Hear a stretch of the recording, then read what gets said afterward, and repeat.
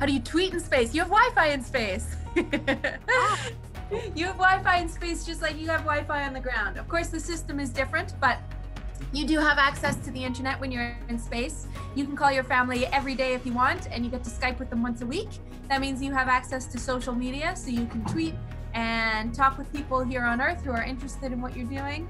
Um, you can even watch movies. I've heard people watch uh, a lot of Star Wars in space.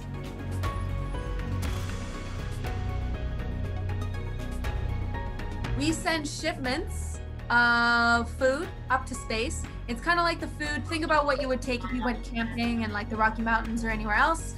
Um, they're usually dehydrated, they're lightweight. We take all the water out before we fly them because it's less weight to fly. We grow lettuce in space. Um, it's a science experiment, actually. We want to discover how plants grow in space, but whoever runs the lettuce experiment is pretty lucky because they get salad once in a while, which is really nice.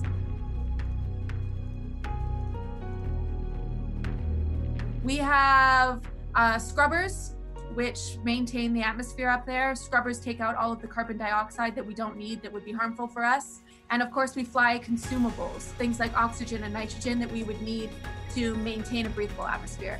And we also have things like a water recycling system that will pull water from the air and recycle all the water in the space station to make it drinkable and usable for different experiments we have up there. Oh, I've never gotten that question before. The voting in space. I don't know. Presumably you can, but I'm going to ask one of my astronaut friends who has already been to space. I'm just going to text him now. Um, we'll see what he says. Maybe he'll get back to me. Oh, he just got back to me. Look at this. This is from my friend Shane. He went to space two years ago and he said, Ha, yes, you can vote from space. I did so electronically. There you go.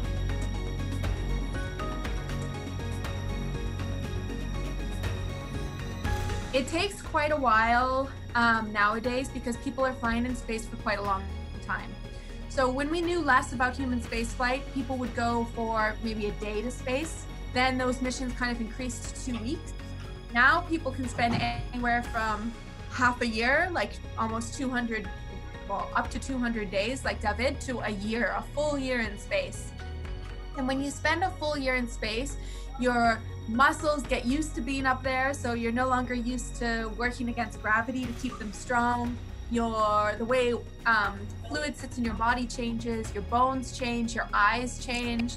So when you return to Earth, it's very difficult. The rehabilitation for a long flight like that, I've heard the first couple of months you really don't feel like yourself. Just fell back from the sky. Gravity is not my friend. you can't do things like drive a car and it takes about a year before you really, really start to feel like you did before you left.